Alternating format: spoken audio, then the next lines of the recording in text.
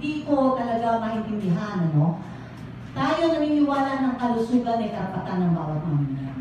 Ang mga CBHPs at ang mga personel nito ay narito naglilingkod ng buong puso. Hindi yan nagtitrain ng mga community health workers. Mabababa ang salary sila pero nagtatagal sila dahil mahal nila ang kanilang gawain. Gusto nila magsilbi sa ating mga kababayan, mas nangangailangan.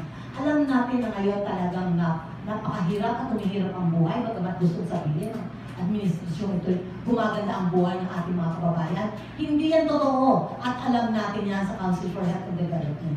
Alam natin na sa ating mga reyon ay patuloy ang paghihirap, patuloy ang kawalan ng pag-aaral at uh, patuloy ang halimbawa sa mga bata na lang, ng mga malnutrisyon, at lahat ng sakit, halimbawa ng tuberculosis, lahat ng sakit na sasabihin natin na dapat ay maiiwasan na. Kaya uh, kami ay nananawagan, meron pang lumabas nga, sinabi nga sa kanina ng ni Mrs. Velasco mula sa FNU, na sa Facebook kami pa ay sinisiraan. Kaya tigilan nyo na ito. Kayo mga naninira at ang pamahalang ito, tingnan nyo ang mga sarili ko ang pinagagawa ninyo. So, tigilan ninyo ang paghaharas sa mga health workers. Tigilan ninyo ang pagsasabi na sila ay mga komunista. Sila ay naglilingkod, huwag nyo sila kabalahin. Alam naman natin na itong ginagamit ng ating kasalukuyang pamahalaan ang ilang together yung mga progresibong organization at sabihin sila ay makakomunista, sila ay makakaliwa, sila ay nagpapabagsak sa ating gobyerno.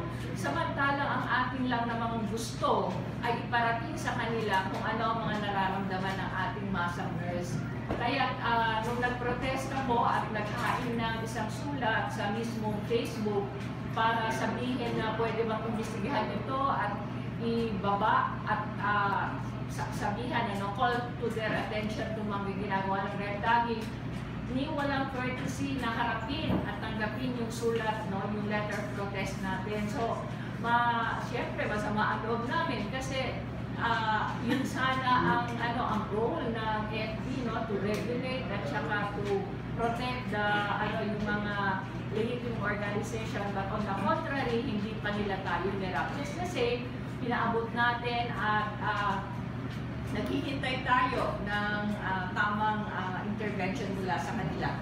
At ang gusto lang po namin sabihin, uh, bagamat ito nga ang ginagawa ng ating uh, pamahalaan, kasi alam naman natin na ginagawa, hindi na nila mapagkakaila, itutuloy-tuloy pa rin po namin ang aming uh, advokasya at ang aming pagmobilisa sa mga nurses. Uh, kaya nga nagkaroon lang kami ng Nurses Day of Action kung saan pamuli pina, pina, pina parating namin sa ating mga publiko at sa ating uh, gobyerno kung ano ang mga gustong mangyari ng ating mga nurses at yun ay ang uh, mapagkalooban sila ng uh, nakabubuhay na sahod at uh, iresolva yung mga problema sa pagawaan at saka sa hospital, sa mga komunidad na uh, understaffed, walang nurse-patient uh, ratio, no? kasi napakadami ng mga pasyente uh, hinahawakan ng mga nurses.